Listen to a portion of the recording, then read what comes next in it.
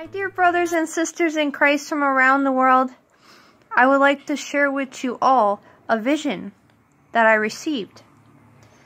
Now, before sleeping, in the morning time, I received this vision.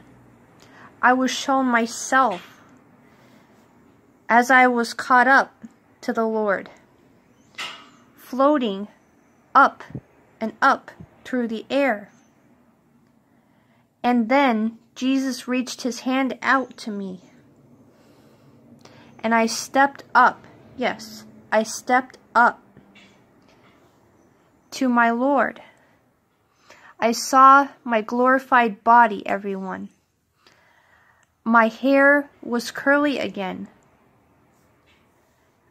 My spirit was shining right in the center. I could see my spirit shining.